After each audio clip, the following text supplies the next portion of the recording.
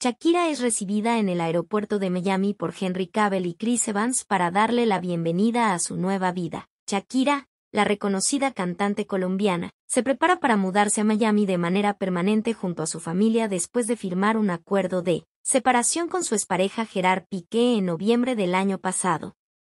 La fecha exacta de su mudanza se desconocía hasta ahora, pero lo que ha llamado la atención es que la artista de 46 años será recibida en el aeropuerto de Miami por uno de los dos hombres más cotizados de Estados Unidos, a quienes se les ha relacionado con ella debido a declaraciones de admiración hacia la cantante.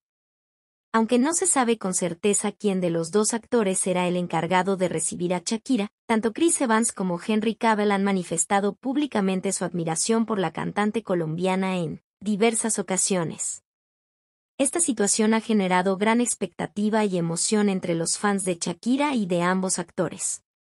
Shakira comienza así una nueva vida en Miami, no solo acompañada de sus queridos hijos, sino también rodeada de rumores y especulaciones sobre quién conquistará su corazón entre estos dos galanes.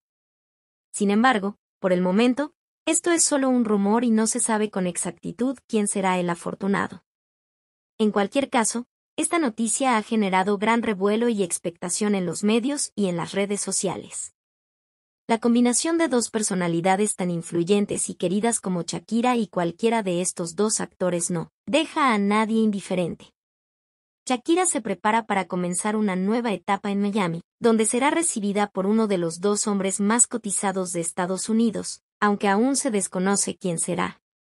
Lo que sí es seguro es que esta noticia ha generado gran expectación y emoción entre los fans de la cantante y de ambos actores, quienes están ansiosos por saber quién conquistará el corazón de la colombiana.